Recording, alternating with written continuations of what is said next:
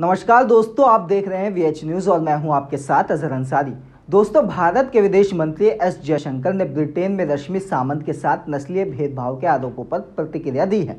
जिस तरह यूके की संसद ने भारत में जारी किसान आंदोलन पर चर्चा की थी, कुछ उसी तरह भारतीय संसद में रश्मि का मुद्दा गूंजा और विदेश मंत्री एस जयशंकर ने इस पर प्रतिक्रिया दी। हम आपको इस वीडियो में बताएँगे कि विदेश मंत्री एस जयशंकर ने रश्मि के मुद्दे पर क्या कहा। लेकिन उससे पहले जानिए कि आखिर ये मुद्दा क्या है। दरअसल रश्मि ने ऑक्सफोर्ड यूनिवर्सिटी स्टूडेंट यूनियन की पहली भारतीय महिला अध्यक्ष बनकर इतिहास रचा था जहाँ रश्मि सामंत को अध्यक्ष पद के लिए डाले गए 3,708 वोटों में से 1,966 वोट मिले थे। वहीं उनके चुनाव जीतने के बाद उनकी 2017 की कुछ पुरानी सोशल मीडिया पोस्ट को नस्ल भेदी साम्य विरोधी और ट्रांसफोबिक बताया गया। जिसमें जर्मनी में बर्लिन होलोकास्ट मेमोरियल की यात्रा के दौरान एक पोस्ट में नरसंहार से जुड़ी टिप्पणी और मलेशिया की यात्रा के दौरान तस्वीर को चिंग चांग शीर्षक देने से जुड़ा विवाद है, जिससे चीन के छात्र नाराज़ हो गए थे। जिसके बाद Oxford campaign for racial awareness and equality और ऑक्सफोर्ड एल प्लस कैंपेन ने रश्मि सामंत के इस्तीफे की मांग कर दी। सामंत ने एक खुले पत्र में माफ़ी भी मांगी थी। लेकिन जब विवाद नहीं थमा तो उन्होंने इस्तीफा देने का फैसला किया। फिर वो भारत लौट आई और पुराने पोस्ट भी हटा दिए।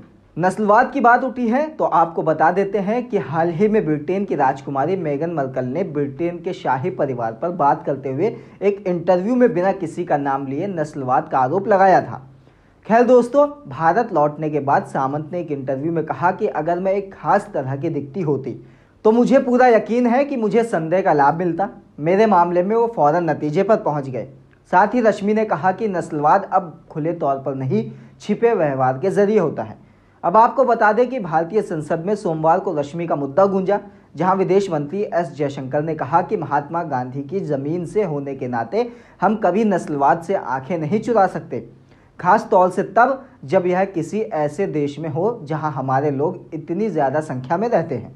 जयशंकर ने आगे कहा कि हमारे यूके के साथ मज़बूत रिश्ते हैं और भारत सरकार सभी डेवलपमेंट पर नज़र बनाए हुए हैं। और जब ज़रूरत होगी तब भारत इस मुद्दे को मजबूती से उठाएगा।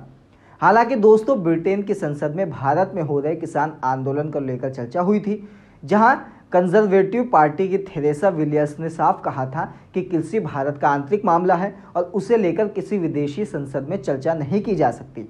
लेकिन लेबर पार्टी के सांसद तनमनजीत सिंह ढेसी के नेतृत्व में 36 ब्रिटिश सांसदों ने किसान आंदोलन के समर्थन में चिट्ठी लिखकर भारत पर दबाव बनाने की बात कही थी। और अब भारतीय संसद में एक यूनिवर्सिटी के विवाद पर प्रतिक्रिया दिए जाने को यूके के लिए एक संदेश की तरह देखा जा रहा है। खैर, इस पूरे मामले को आप किस नज़रिए से देखते हैं और आपकी क्या राय है, कमेंट बॉक्स में ज़रूर लिखें। और अगर आपको वीडियो पसंद आई हो तो वीडियो को लाइक करें, शेयर करें और चैनल को सब्सक्राइब करना बिल्कुल भी ना भूलें। धन्यवाद।